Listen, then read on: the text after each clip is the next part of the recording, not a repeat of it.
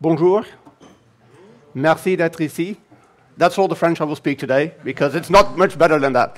But thanks for being here. Uh, my name is Maarten Mulders. I work at a Dutch company, company called InfoSupport. We do consulting, we do data science. Actually, before it was hip, uh, we already did that. Today's talk is not about either of that. It's about something that we already use quite a lot, something that's been around for quite some time secure transport layers. So then the first, first question might be why should we bother about it? If it's not new, if it's not hip, then why is the room packed? Why are people standing at the end of the room? Well, first of all, uh, I've seen in a lot of projects, and maybe you've seen that as well, that doing uh, secure connections is actually pretty hard to do. And often, if something goes wrong in a production environment and it's something with certificates, we go to this one colleague because he knows how it works and he is usually capable of fixing it. And actually, that's not a really good thing, I think, because if you run it, you should be able to maintain it, you should be able to understand what's going on underneath. Secondly, why don't we know that? Because it's actually pretty hard to understand. If you, you go through Wikipedia or go through scientific papers, you get a lot of mathematics, and if you're not skilled to read that, it might be pretty scarifying. But yet, on the other hand, uh, doing it correctly, having secure connections, is crucial in today's systems that are connected over, uh, over large distances, that are connected between enterprises.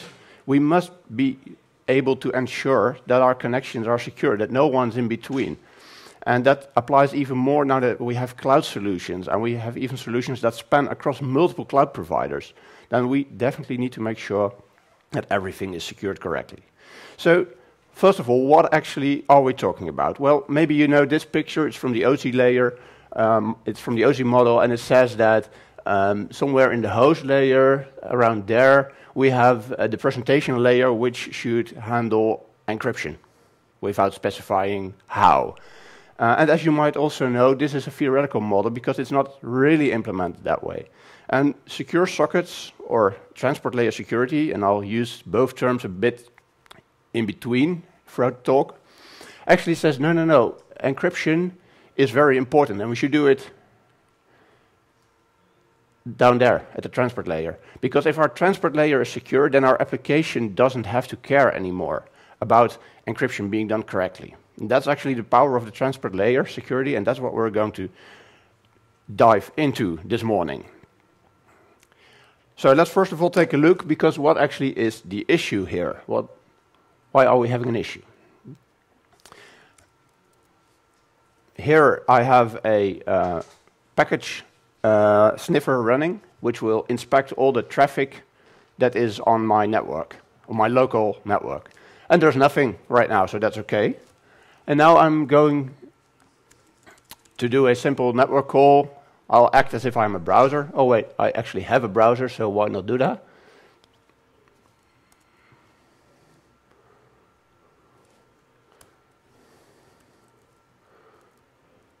Well, some kind of text, doesn't really matter what it is. But now I had this package sniffer running, and look what it does.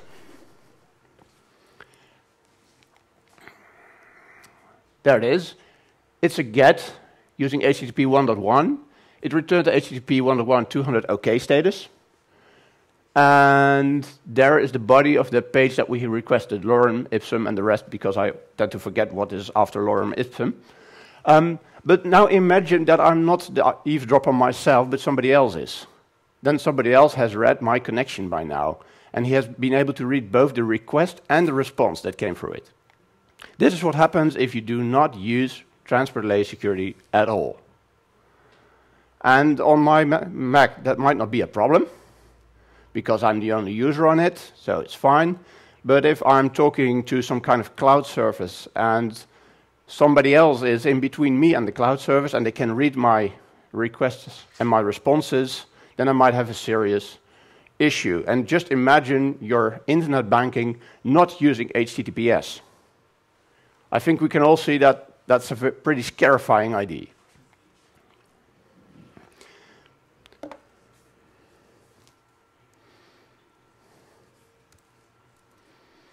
Okay, let's get back.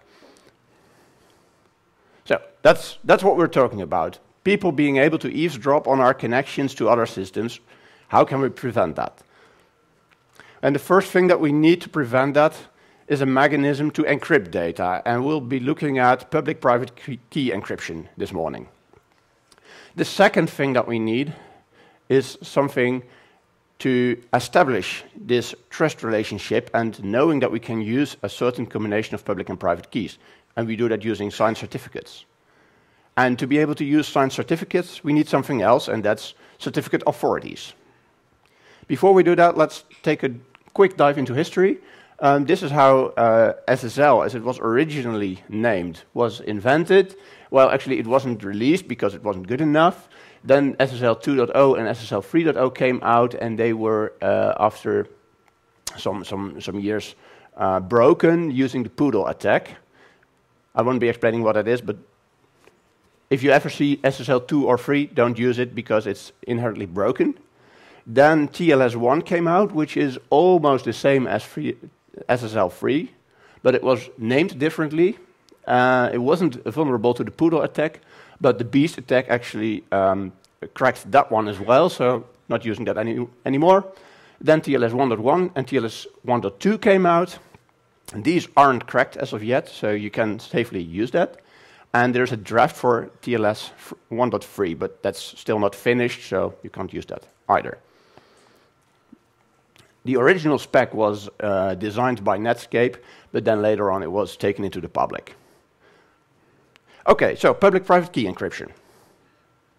What's that all about? You can hear a lot about that, but how does it actually work? Well, the basic concept is actually just did.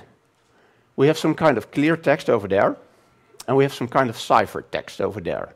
And there's a silver key, and we'll call that the public key. And there's a golden key, which we'll call the private key. And there's a mathematical relationship between those keys. Now, if I want to encrypt something to, for example, you, I look up your silver key, your public key that's available to each and everyone in the world. I encrypt my message to you using that public key, and then it's got ciphered. Nobody else can read it. The only one who can read it is somebody who has the golden key. And since it's called the private key, you're supposed to keep it private to yourself, not share it with anybody. And that makes sure that you're the only one who can read the message that I wrote to you. Well, this might sound a bit theoretically. There's a lot of mathematics underneath, and we'll look at how that works in a more or less simplified way. So it's time for a little bit of math. You don't need a calculator, I'll do the calculations for you. And sometimes you'll have to trust me because the calculations are actually too hard for your average uh, mobile phone and even for your average MacBook. First of all, let's think of two prime numbers. We'll call them P and Q. I hope that even in the back everybody can read the mathematics. Can you confirm or not? Sorry? Not. Let's see if we can make it a little bit bigger. Doesn't scale, man. That, that's a disappointment there. I'll take a quick check if I can fix that for you, because it would be a shame if you can't see that. We'll make the screen a little bit smaller. Is this better? No confirmation.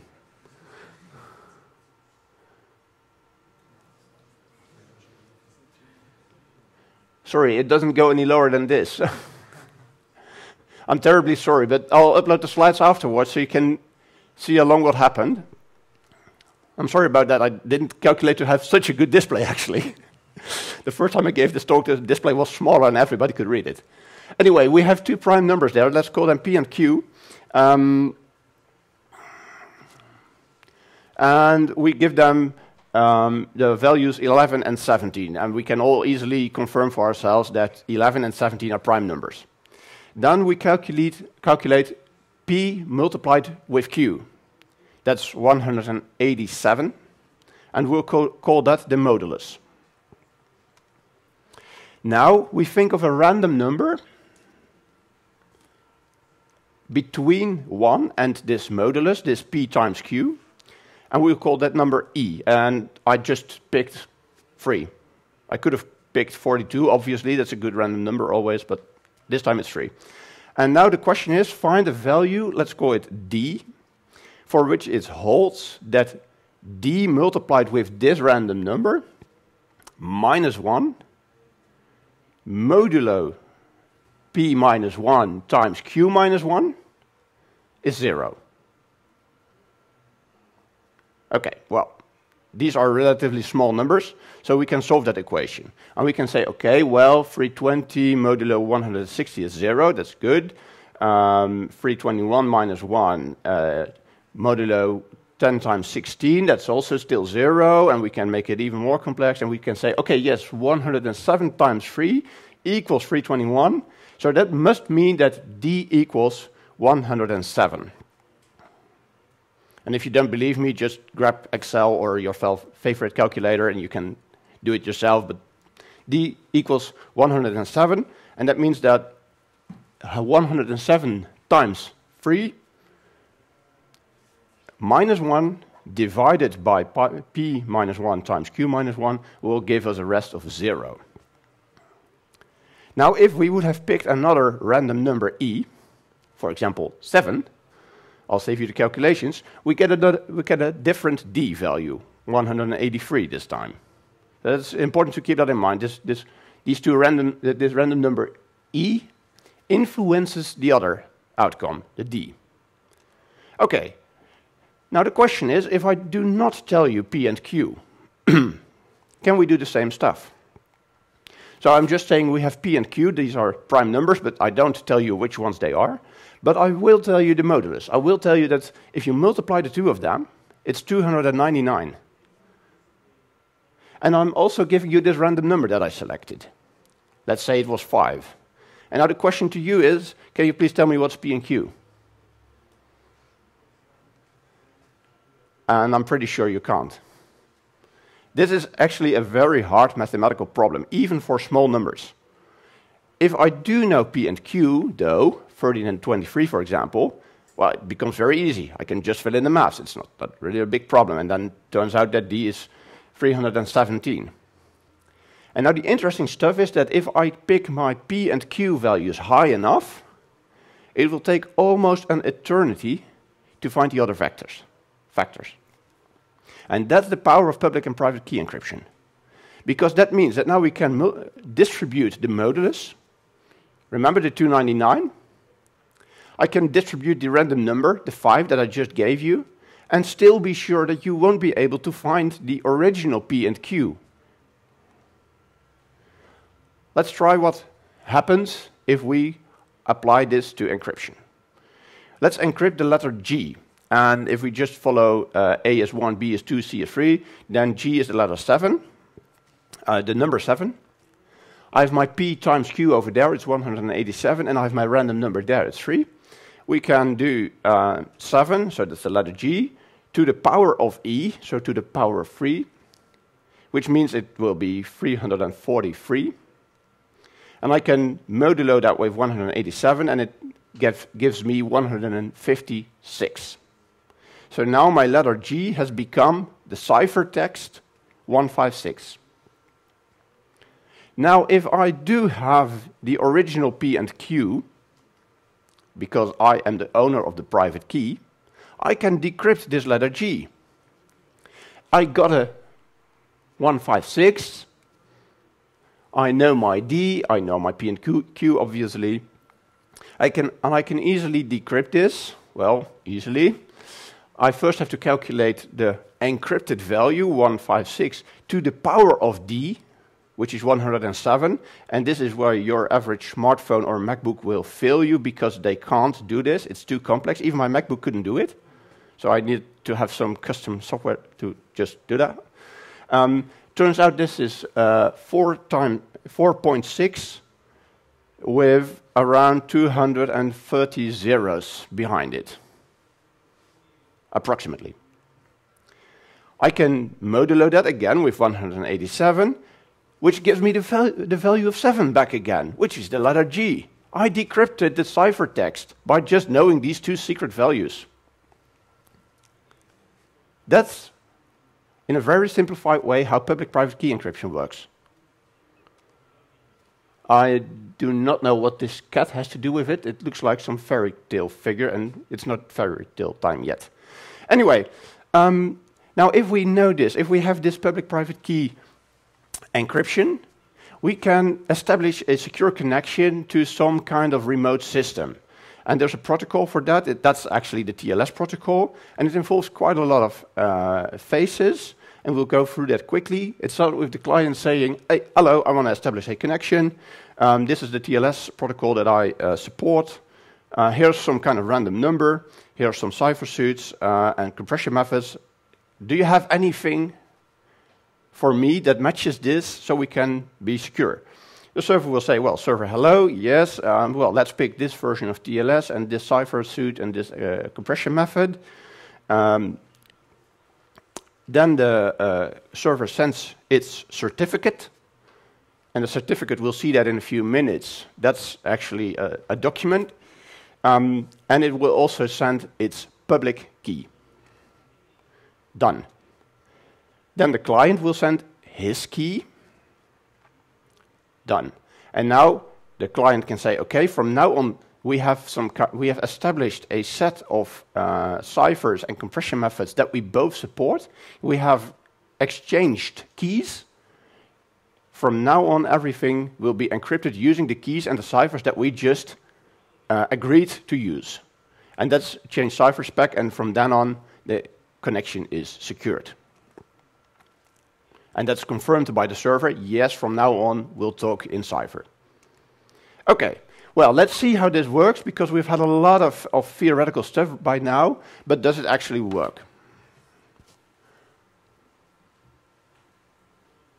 Well, this is my uh, this is the same very interesting web page, but this time um, I'm accessing it, and it might be hard to see, but over HTTPS. And Chrome says that it's not secure, Chrome does that because of validation issues with the certificate, which we'll get to later on. Um, but let's uh, take the, uh, the scanner like so, uh, refresh the page. Nothing. That's not what I expected.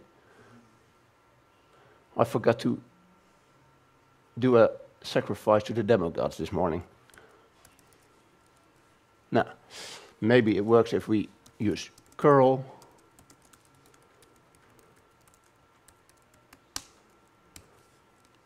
Still nothing. That's boring. No. Well, I, I tried it earlier this morning just to be sure, and now I'm happy that I did. if you do this, then the package sniffer will display stuff like this. I can't see the lorem ipsum anymore. And if you can, you're a genius. Come talk to me afterwards.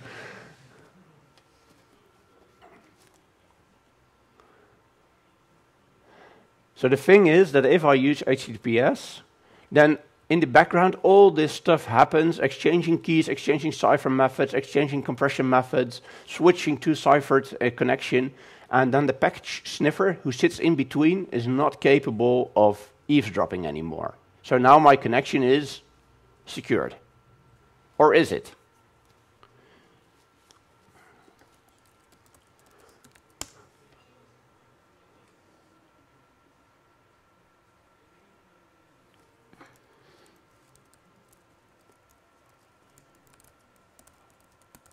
It's a bit hard to type if your cursor's over there.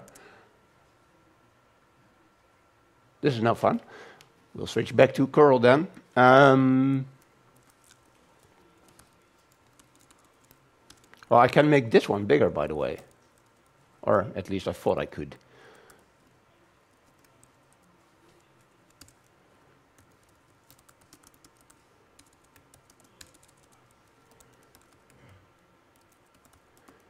I'm using demo.google.com. I don't know if it exists in the real world, but it exists on my MacBook.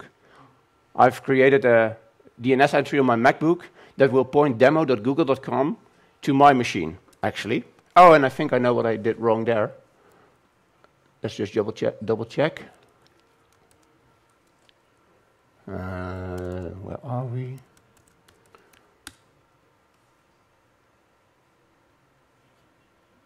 Your connection is not private.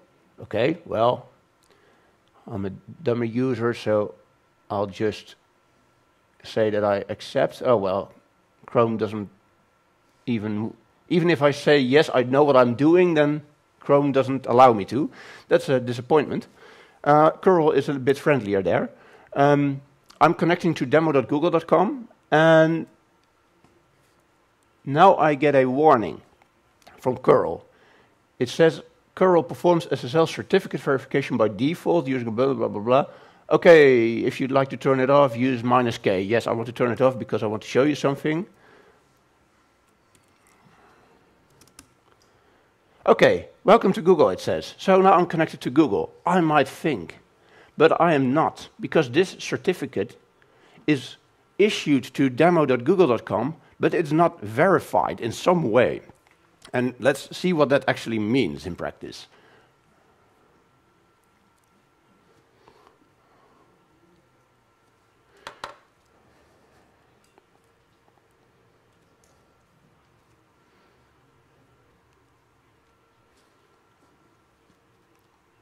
Yes. The second thing that we needed to establish these secure connections is signed certificates, as I told you. Now, a certificate is kind of like a document, and you might know that because you have a certificate as well. For example, saying you're a brilliant Java developer and you passed the OC, OCJP exam or something like that. And these certificates are no different. These are tiny documents that say, um, this is google.com, uh, we have a private key that we're not telling you, but the public key that corresponds to it is this one.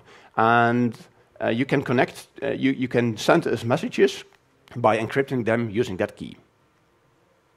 Okay, that's pretty useful because we need that if we uh, want, want to connect to them. Uh, and as you can see, there's quite a lot of stuff in, in such a certificate. It has a subject, uh, which is like uh, google.com. It has a validity, so it will expire at some day. Um, it, it, indicates what it can be used for and what not. It contains the public key. It contains a, fingerprint over the public key, plus a way how to calculate the fingerprint, uh, and some kind of serial number. And this might sound like a brilliant plan because now we have just this one document and we know how to secure our connections, but that's not actually true. We need something else because everyone can generate a certificate. As I just showed you, I can generate a certificate with the uh, subject uh, demo.google.com. That doesn't make it really belong to demo.google.com. I'm just saying it is. So these certificates somehow need to be signed. It needs to be a signature on the certificate that says, yes, this one is true, it's valid. And uh, that means we have some kind of an issuer, that's the authority, the, the, the guy who is saying, yes, this certificate is really trustworthy, his signature or her signature, and the mathematical algorithm that calculated the signature. And that means we also need a way to sign stuff because that's, that's cool, a signature, but a digital signature needs to be calculated. And for that, we can use the same public private key stuff again. That's interesting. Here we have the, the, the public key again, here's the private key. And now let's assume that this is the certificate. If I have the private key, I can calculate some kind of a signature over the document, and it will add this nice green bar it's the signature. It's saying, yes, it's valid. And then here I have the signed document with the green bar. This is the public key. Everyone is allowed to download that key and use it for whatever purpose. And I can use this public key to verify whether the, the, the signature is actually correct, whether it was actually calculated over the document as it is presented to me at this very moment. And if it's not, then I know that somebody has tried to tamper with the certificate. He has tried to change a few bits, maybe change the subject or the key. In a more mathematical way, it looks like this. We have a uh, signing function which takes the secret key, which takes the documents, and it gives you some kind of a signature. And then we have this verifying function, which takes the public key, the signature, and the original document, and it says either accept or reject. This is valid or this is invalid. And this mechanism is used to sign these certificates and ensure that they are trustworthy themselves. If you have the X and the T, and you know the the public key, you can tell whether the document was actually signed using the corresponding private key. Now, this brings us to the third thing that we need, which is certificate authorities. And a certificate authority is an organization or an entity that creates these kind of certificates. It certifies that the owner of the certificate is also the owner of a public key and that he has the private key, obviously. So, and, and this mechanism is actually used in a layered way. Let's, let's think about this. Uh, th this is me, um, here's John, here's Alice, and there's somebody else. Now, how do I know whether I can trust this somebody else? I don't know. But I do know that I trust John. John is a friend of mine. John happens to trust Alice, it's a friend of his. And Alice knows this person that I don't know. And because I trust John as a, as a, as a guy who can be trusted, he's, he's honest. And John has this very same relation with Alice, and Alice has this very same relation with the unknown person.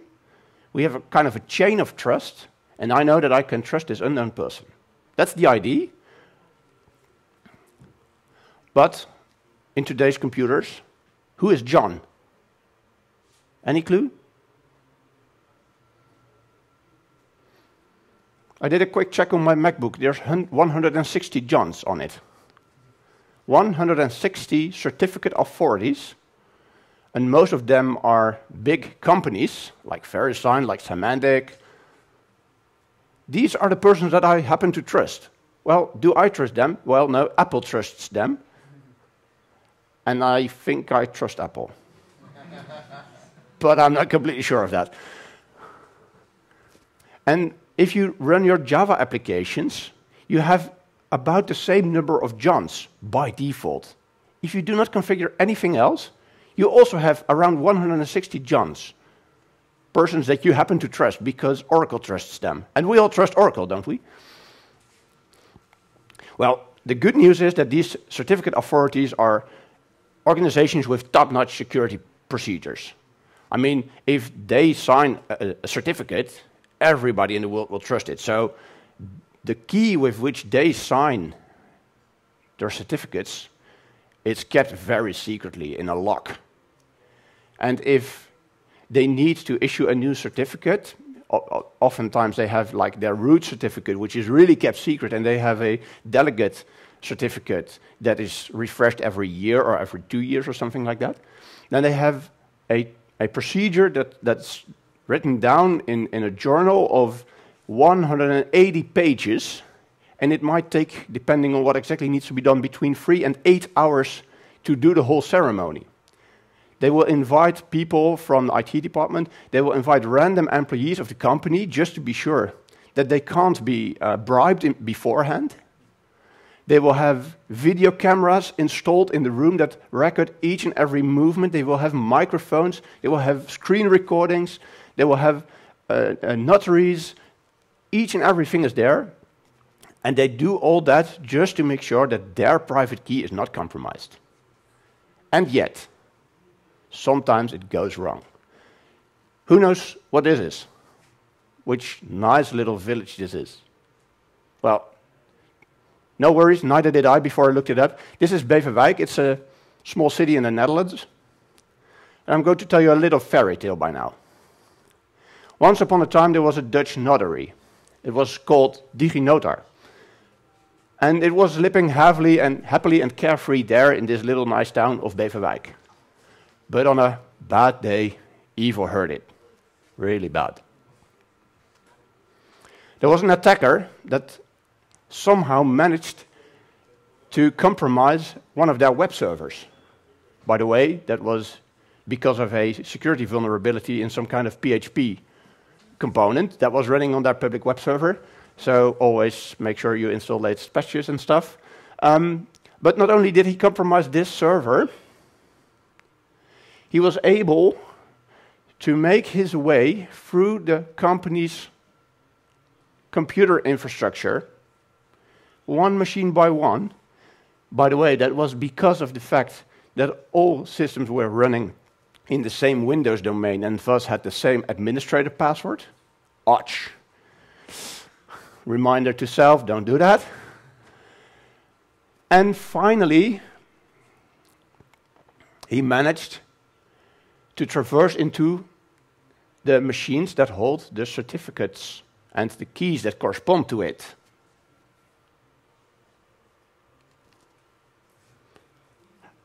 Do you know what this means? This attacker was able to generate certificates with domain names and other keys for about every subject in the world, and they would appear valid in all major computer systems because this certificate authority was trusted by another certificate authority. This was real bad. Let's see what happened. Well, Google blacklisted the certificates of this uh, certificate authority, obviously, in, in their Chrome browser. Microsoft removed uh, the root certificate of this company from all supported Windows releases. Mozilla revoked the, uh, the, root certificate from this certificate authority, and Apple issued a security update. Now, little, note the little star over there. Microsoft removed the, remo the, the root certificate, but this Windows update was delayed for the Netherlands by one week. And you don't want to know why, but I'm still telling you. Because the government asked Microsoft not to roll out the patch. All government certificates were also signed by this CA. And they were afraid that if Microsoft would push the patch to all government computers, everything would just black out because nobody trusted each other anymore. It's a bit like you come home one day, you see that somebody tried to break into your house, the lock is damaged, he, he took something from your house, and you're not replacing the keys because the house cleaner must be able to get in as well, right? It's a bit like that. And to make things worse, one of the ministers of the government said, People, don't worry, don't worry, everything's just fine. Just look at the green lock in your address bar. Thank you, sir. that really happened. And I'm not proud of that, of being Dutch right now. anyway,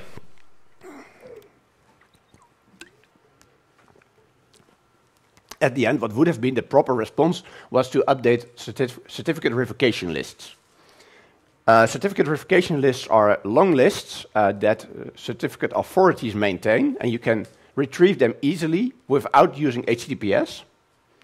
So you don't need to trust them, you can just download them, and they will keep track of each and every certificate that they have revoked in the past. And if you go to a large certificate authority, uh, they will have like three, four, five hundred certificates that somehow have been compromised. It's not that they just expired, no. The company who bought the certificate was not too keen on their security procedures, they lost the private key, I don't know what, kind of stuff like that. And they asked the authority that signed the certificate, please revoke it for me because it cannot be trusted anymore. Well, last demo for today. Let's see. Um, I think one of the larger banks here is Deutsche Bank, right? That, that, at least that's uh, okay. You have a lot of banks here, I know, but uh, that, that, that's one of the names that I, I, I, came up with after googling for Luxembourg Bank. So let, us just try that one. Um, I'll imitate. Uh, no, no, no, no. Wait. Let's let's first do a tiny different thing, and let's hope that the connection is still alive. No, come on.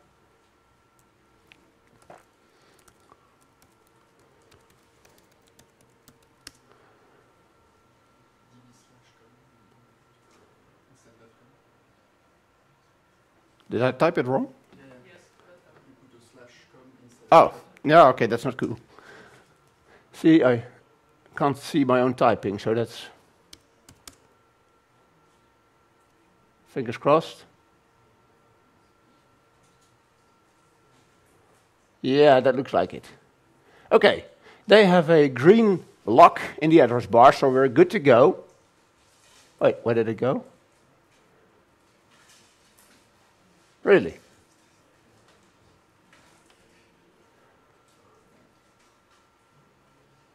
That takes ages. But I'm actually interested in Uh, let's see, security. View certificate, yes. Unfortunately, this can't be enlarged either way, but this is where you can actually view the certificate of a website that you're using. And you can see, um, if you have good eyes, or if you uh, try this yourself, you can see that there's a certificate down there, which is signed by another certificate, which is uh, finally signed by VeriSign Class 3 Public Primary Certification. This is this root, this is this chain of trust that we talked about earlier. My computer trusts the, uh, the, the upmost one, and they have signed the middle one, and they have finally signed the lower one. And I don't know whether I can trust Deutsche Bank in advance, but I do know that I can trust VeriSign class free, and that's why I can trust this connection and be sure that it is uh, secured and nobody can read along. Okay? Um, now, if we use curl again,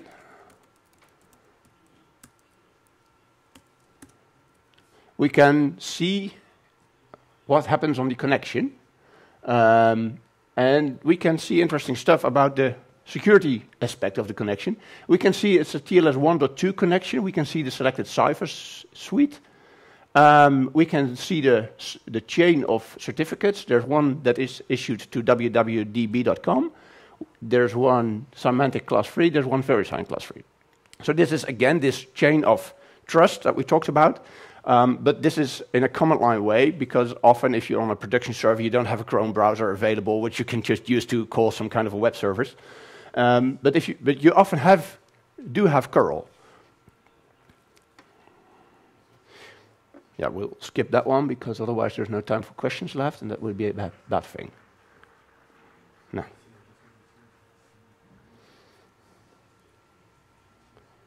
So we're finally there, almost. Well, come on. Like so. Okay, what have we seen? We've seen quite some demos, and to be sure that you know how you can use these tools yourself, let's run through them quickly. The first tool that I've been using was curl, and I often select the minus V and the minus K switches. Minus V is for be verbose, list what you are doing, list what's going down the wire. Minus K, to be used with care, ignore the certificate chain. Just accept the connection as is. But if you want to see whether the trust relationship is okay, omit the minus k. One that we did not see today, I would have done if we had a little bit more time, but we're running short on it, is OpenSSL itself. It's a bit harder to remember this command, so just take a picture if you need to. It says socket client, show the certificates being used in this connection, specify which server name we're going to use, and connect to some kind of an address on a certain port number. If you do this, you get really a lot of information, but you can see the, the, uh, all the things that are in the certificate, like the, the, the, the, the common name and the validity and the, the, the signature and the, the key. You can see all that in there. And it's really a very good tool if you want to uh, troubleshoot a connection to some kind of a production server which doesn't seem to work, well, you use OpenSSL s_client and you can just see, oh, but it's presenting another certificate than I thought it would. If you run Java or any JVM language, in fact, you can select a different trust store. Trust stores are the files that contain all certificates that your JVM will trust. By default, there's one shipped with your JVM, and it contains about 160 root authorities, Johns, so as to say. But you can specify a file to, you can specify a path to another file, and you can just put one certificate in there. For example, the very highly secured uh, JMS server or uh, whatever event bus that you're using, but it has a uh, secured connection. And you can specify the password to that file by using this other system property. There's also a key store, which is the same format most of the times. But the key store is the file that contains any private keys that your application might need to co actually connect. Because what we didn't see today is mutual SSL. But it happens a lot in production systems. That not only the server needs to verify who he is, but also the client needs to prove who he is. And then again, you need to specify a password to that file.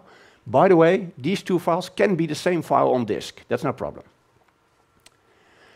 If you have a hard time debugging your SSL connection on your JVM, specify this system property, javax net debug is all. You get a lot of information again, but it will most likely tell you where the handshake went wrong or what, what certificate wasn't trusted.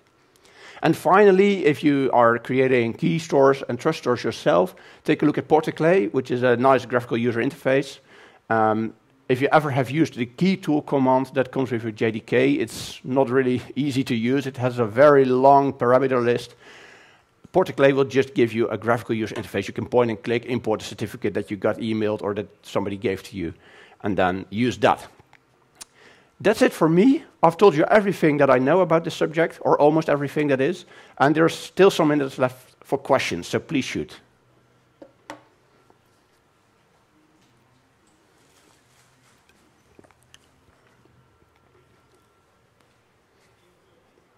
I see at least one hand waving. I don't know if there's a microphone for questions.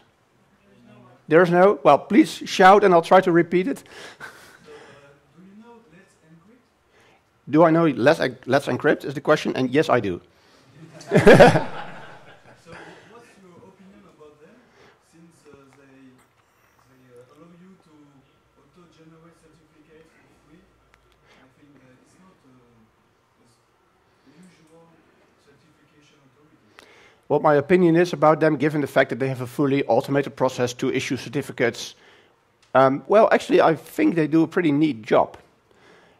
At the end of the day, a certificate is no more than saying this domain name is using this private public key pair.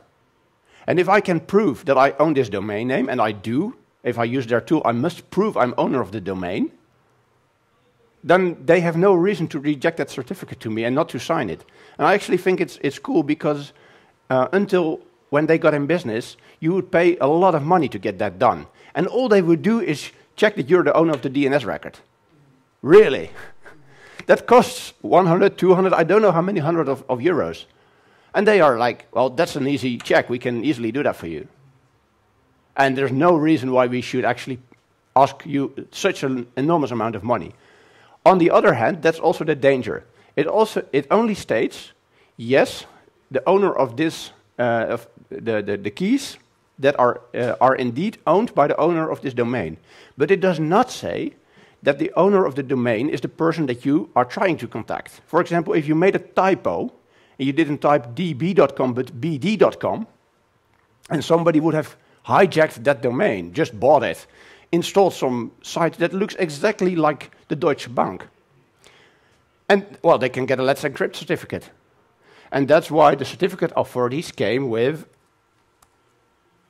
this part where they charge you a lot of extra money to display the name of the legal entity back uh, there next to the green lock icon. It's, it's, quite a lot of extra money you pay for that, and it only makes sure that they will not only check you own the domain, but also that you are some kind of legal entity.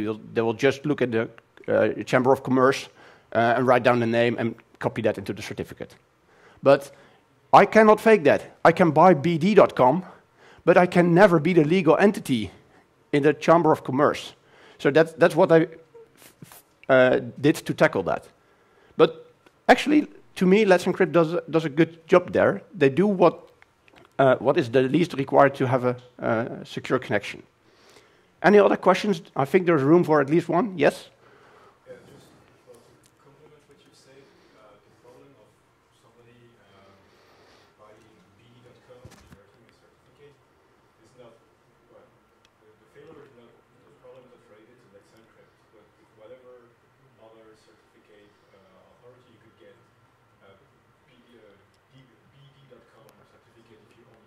Yeah, that's a good, uh, good addition, uh, indeed.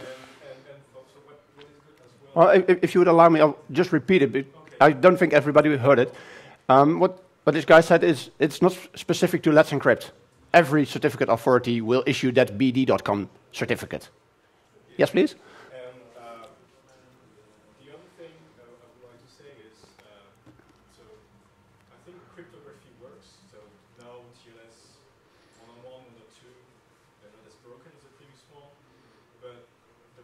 security problems around that are more related to the number of This is exactly what you said. If you consider that some also come from some governments, yep. uh, you can have a moderate interest on that. and then also thing that we, we've seen recently uh, is, is people, uh, especially in big companies, in, on Windows profile, they add some fake certificate authorities um, so that they can put in place um, um, proxy server. Which, which, which, will then intercept all the traffic. Yes. Yeah, indeed. So that's why when you do, do web development, uh, you guys know I think you have to rely on uh, technology that are complementary to, to just enabling a HTTPS, but you don't seem like uh, HSTS when you when you say, oh, if you connect to that domain, this is the certificate that you should get. Yeah, and that, if that you don't get this one, it's definitely not trustworthy. Yeah, please play the page. yeah, exactly. Something that, that Firefox and Chrome, I think, implement.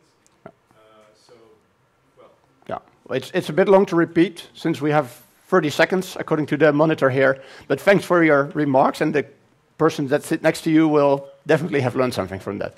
If there's no more questions, and I think there's simply no more time left for them, thanks for being here. Merci bien, and have a nice day and have a nice holiday tomorrow.